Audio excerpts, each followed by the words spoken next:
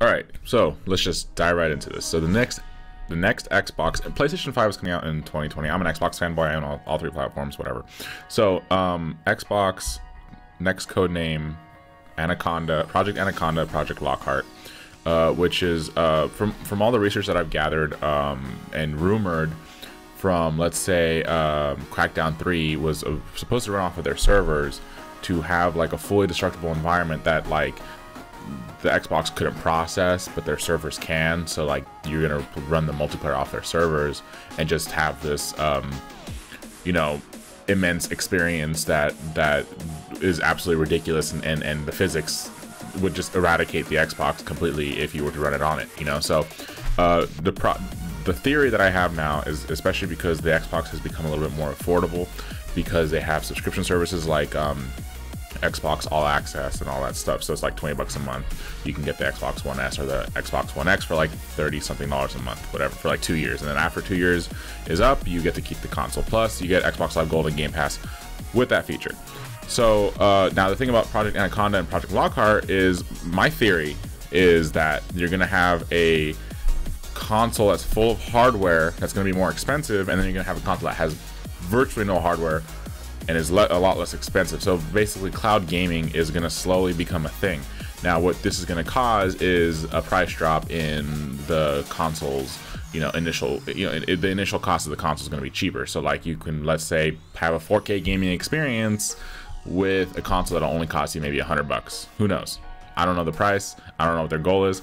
But if you're an enthusiast and want something a little bit with a little bit more horsepower, you can buy the the more expensive uh, Xbox, which will probably cost five, upwards of $500, $600. Who knows? Uh, like this is all just rumored, especially because they're probably not going to announce it within until like maybe like E3 or um, next year or the year after, or their Xbox convention that they have now, uh, Expo.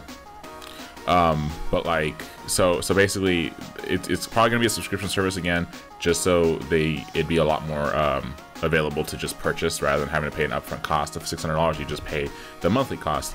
Uh, now the cool thing about um, streaming uh, cloud games is that you don't have to pay for um, an expensive console, right? You would pay for the game or pay for the Game Pass or whatever, and then you would just run it off their servers. No installation, just streaming it. Now the problem with that is latency and input um, lag, if that if, if, it's even a thing, which will be because uh, when it comes to pro gaming, let's say you need to have a LAN, you need to have basically zero lag and uh, at least a one millisecond response time with like 144 hertz is typically the pro standard.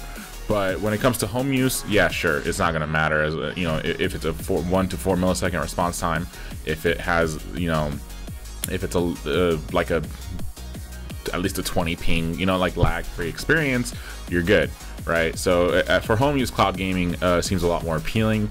Um, I'm now now another thing that they've learned also from the Xbox One is that you know hopefully, and I highly doubt this, but like the the next Xbox will be a whole new platform, i.e no game history purchases, no backwards compatibility, but that's probably gone out the window since the Xbox One because if you Nintendo and PlayStation and Xbox all did this when they first launched their one PS4, Nintendo Switch is that your previous console history is gone. It's a new platform. Only you know when I first got the Xbox One when it first came out, I only had a library. Well, the the marketplace only had literally 16 games in it and it sucks. But eventually, they, they started adding in 360 and OG Xbox games, and my, my, purchase history was still there, so I was able to play my old games that I had purchased digitally before.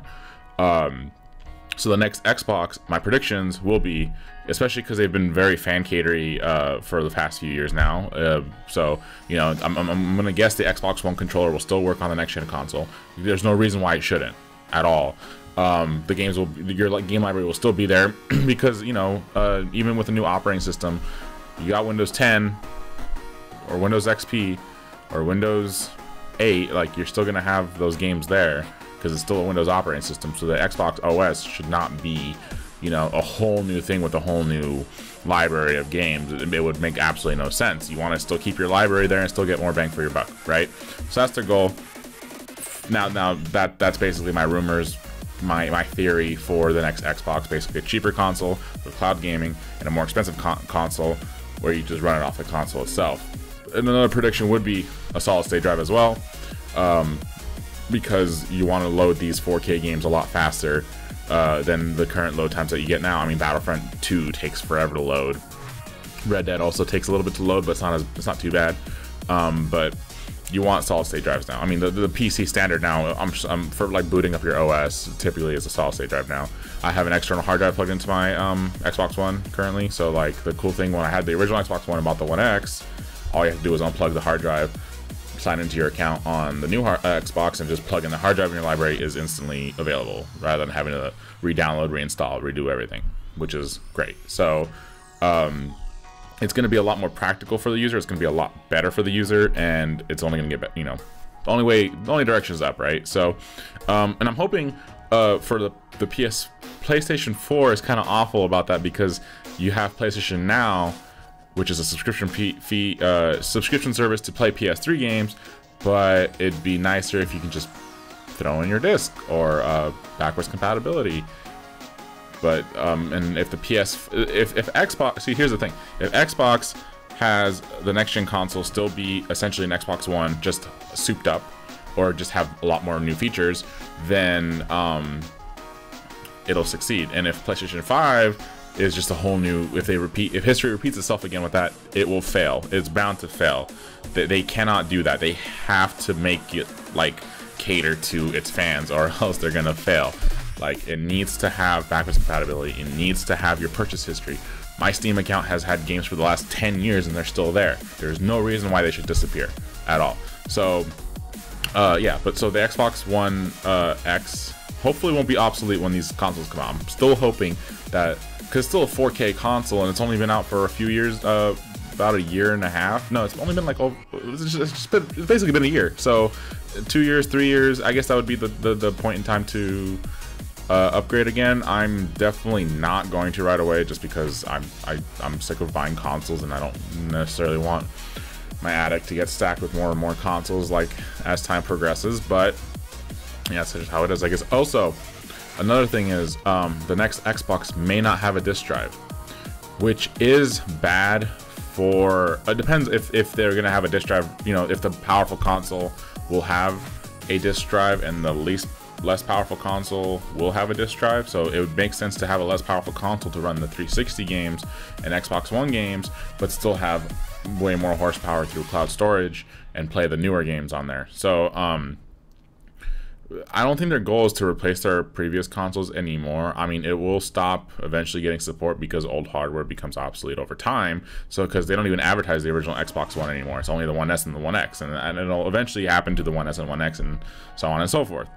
Um, but if not having a disc drive, I, I, buy all my games digitally now, especially because I, I don't see a point in reselling my games for a lot less or even reselling them at all. So I just keep them in my digital storage or digital library now instead of having to buy a disc. So I don't care about, I mean, even with PC gaming, disc drives are a thing of the past. I have not used my disc drive.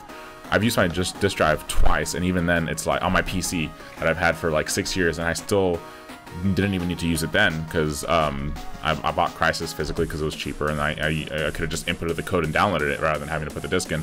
Operating systems now can be purchased with USB drives, so a disk drive is pointless.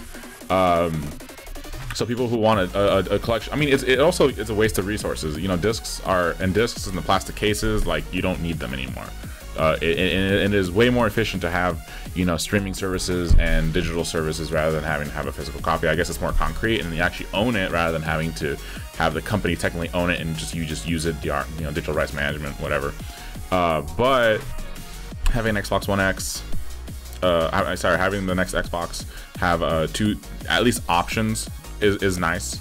So um, I, I, probably would go for the cheaper one at this point, just because uh, I like my One X a lot and I like 4K gaming with it. But uh, especially because you know new tech comes out a lot more frequently now. There's no point in getting the more expensive product at this point. So, uh, but I'm gonna wait and see what they have to offer. I'm, I'm assuming they're gonna amaze me because uh, Microsoft is supposed to be innovative, and their their motto is innovation, especially because like Xbox was like basically the first console with DirectX, which is why I call it DirectX the the Direct Xbox. That's a mouthful, but uh, let me know what you guys think of the next Xbox, uh, Project Anaconda, Project Lockhart.